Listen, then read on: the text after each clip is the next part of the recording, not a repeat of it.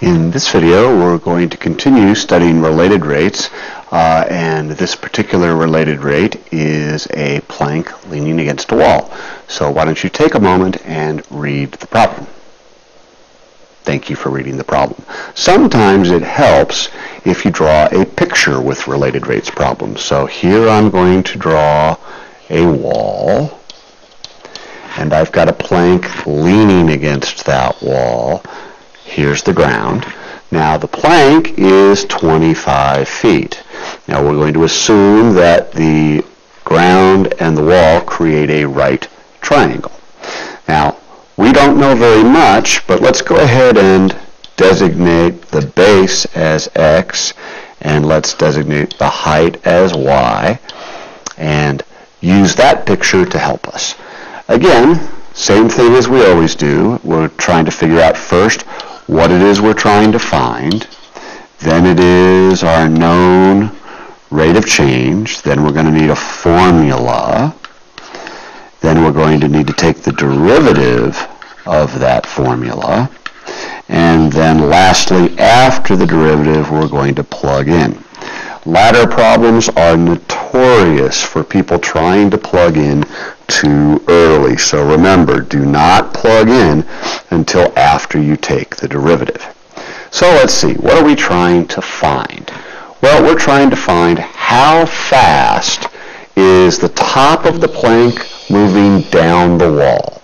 So the plank is moving down the wall. Well, down the wall means that that length is getting smaller. So let's keep that in mind. So how fast is that changing? So we're trying to find dy dt because we called that y at the instant when the bottom of the ladder is 24 feet from the wall.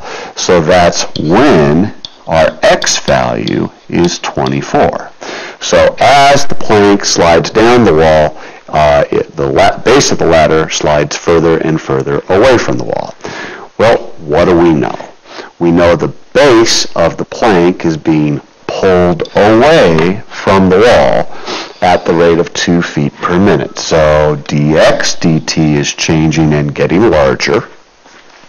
So dx dt is 2 feet per minute. So we're going to need a formula for this scenario. Well, we have a right triangle, so how about the Pythagorean theorem? And we can go x squared plus y squared is equal to 25 squared. At this point, it's time to take the derivative. And remember that this is implicit differentiation.